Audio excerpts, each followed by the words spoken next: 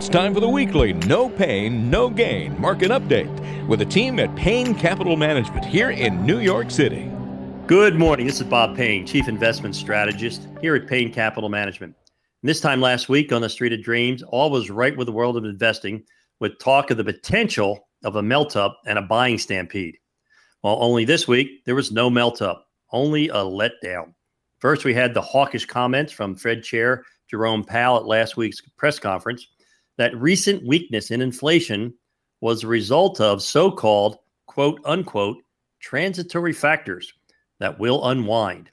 And then this week, the belief that the US and China trade talks were close to a conclusion crumbled when the White House accused China of backtracking on prior agreements and threatened to raise tariffs on 200 billion of Chinese goods. Now, the market immediately dropped on fears of a full blown trade war that would negatively impact global economic growth.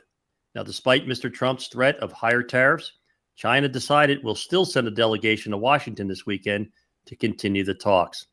Many believe that threats of economic retaliation from both the US and China are simply negotiating tactics. I think both sides know a trade war benefits no one. Tariffs are bad, but in a global economy that latest estimates put at north of 80 trillion dollars in GDP, tariffs on 200 billion worth of products is actually an insignificant number. And in reality, most of those tariffs will never be collected.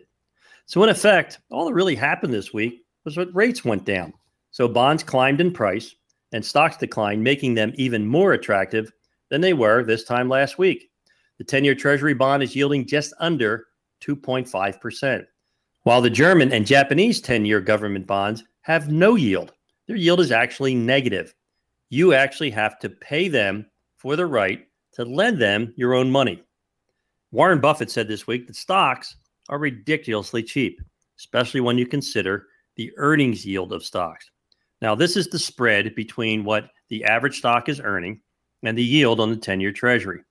And with rates down this week, that makes stocks based on this metric the cheapest they've been since 2016. Now, does this mean it's a good time to buy? Well, who would argue with the greatest investor of our time, the Oracle of Omaha? Now, if you're sitting there wondering, do I have a portfolio that's appropriate to my risk tolerance, to my goals, to my dreams? Can I handle this volatility?